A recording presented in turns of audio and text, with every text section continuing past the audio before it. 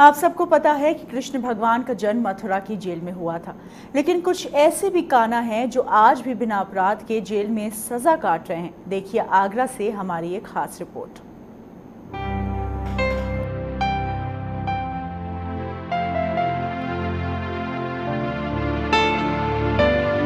जन्म होते ही कृष्ण को जेल से निकलकर यशोदा मैया मिल गए लेकिन आगरा की जिला जेल में ऐसे दो दर्जन से अधिक काना हैं जो बिना अपराध ही सजा काट रहे हैं। ऐसे कानाओं को जेल प्रशासन पूरा लालन पोषण कर रहा है, वहीं उनको अच्छी शिक्षा भी देने की कोशिश कर रहा है।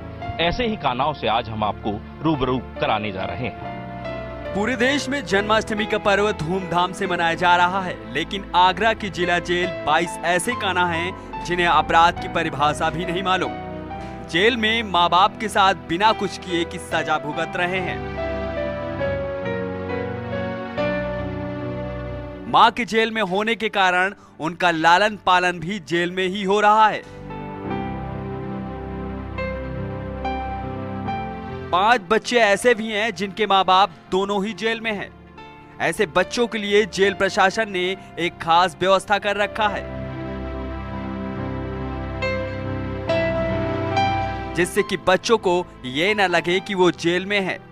मासूमों के लिए पढ़ाने के लिए रोज एक शिक्षक आता है, जो जेल के एजुकेशन रूम में इन बच्चों को पढ़ाते हैं। इस रूम में पठन पाठन से जुड़ी सभी सामग्रियाँ मौजूद हैं। इसके अलावा जेल में बच्चों के खेलने के लिए पार्क, खिलौने और झूले की भी व्यवस्था जेल प्रशासन ने की है।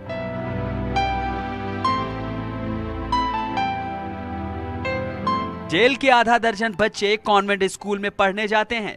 इसकी व्यवस्था जेल प्रशासन ने समाज सेवियों को सहयोग से की है। वही नियमित रूप से बच्चों का चेकअप डॉक्टरों द्वारा कराया जाता है।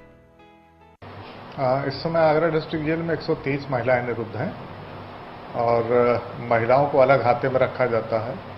उनका हॉस्पिटल भी उसी में दो कमरों का हॉस्पिटल बना दिया जाता है और उनके साथ जो बच्चे रहते हैं, इस समय 22 बच्चे हैं, उनके लिए अलग से क्रैच होता है, स्कूल होता है, जिसमें बच्चे पढ़ते हैं।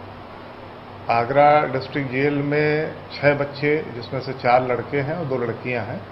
बाहर एक पोली स्कूल है, उसमें पढ़ने जाते हैं। ये प्रथम पहल है उनके द्वारा। उसके देखा देखी एक दो जगह स्कूल, एक दो जगहों पे, जैसे अलीगढ़ में या और जगहों पे भी बच्चों को बाहर पढ़ने भेजा जा रहा है। प्रेग्नेंट महिलाओं को छठे, सतवें और आठवें महीने पे उनका इंजेक्शन लगना, जो बच्चे पैदा होते हैं उनका टीकाकरण और महिला बंदियों को देखने के लिए फिर महिला चिकित्सक आती हैं और छठे महीने के बाद से उनका अल्ट्रासाउंड या और सारी जो भी चिकित्सा सुविधाएँ हैं, वो उनको जिला अस्पताल भेज के दिलाई जाती है। आगरा जेल में 123 महिला बंदी हैं, जिसमें गर्भवती महिला बंदियों का विशेष ध्यान रखा जाता है। इस दौरान जेल में दो कमरों का अस्पताल बनाया जाता है और चेकअप के लिए डॉक्टरों को भी बुलाया जाता है। वहीं प्रसव के दौरान इन महिला बंदियों को आगरा की लेडी लॉयल अस्पताल में भर्ती कराया जाता है।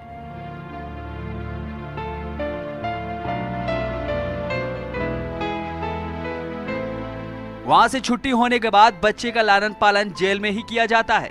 इस समय जेल प्रशासन महिला और बच्चे के खान पान का विशेष ध्यान रखता है। वहीं कई ऐसी महिला बंदी हैं, जिनके बच्चों का जन्म इस जेल में ही हुआ है। नहीं सजा के रूप में आप उसे मत देखिए। बेसिकली बच्चे जो हैं, वो माँ के ही ज़्यादा नज़दीक होते हैं। तो हमारे यहाँ प्रावधान है, जब तक बच्चा छः साल का रहता है, तब तक बच्चा माँ के साथ रहता है। छः साल के बाद या तो वो अपने किसी रिलेटिव के पास उसको भेज देती है। अगर उसका कोई नहीं होता तो फिर हम उसको चिल्ड्रन होम में उसका रखने की व्यवस्था जिलाधिकारी के माध्यम से करते हैं। और, जो बच्चे इस जेल में पैदा होते हैं, उनका ये पूरा ध्यान रखा जाता है। एक तो ये कि उनके नाम के आगे कहीं ये न लगे कि उनकी पैदाइश जेल में हुई है, कहीं से ये इंडिकेट ना हो। उसका नाम उसकी माँ का नाम लिखा जाता है। पैदा स्थल उसका जेल नहीं दिखाया जाता, जिला अस्पताल दिखाया जाता है। इसे संयोग से कहिए या फिर भगवान की मर्ज़ी, लेकिन जेल प्रशासन की ये पहल काबिल तारीफ़ है, क्योंकि इन कान्हों को जेल में ही अपनी माँ का प्यार और दुलार मिल रहा है।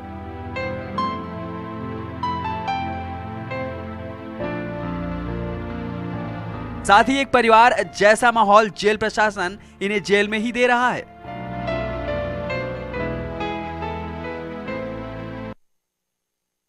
तो देखा आपने किस तरीके से इन कानाओं का जेल प्रशासन लालन पालन कर रहा है।